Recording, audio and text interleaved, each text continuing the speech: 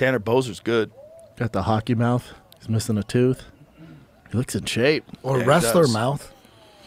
Yeah, true. Or just young dude who did a lot of stupid shit mouth. Yeah, wild Or hillbilly mouth. Yeah. Does not take much to knock your teeth out. That was uh, very telling. The ref has tits. He does have a little bit. When um, ah,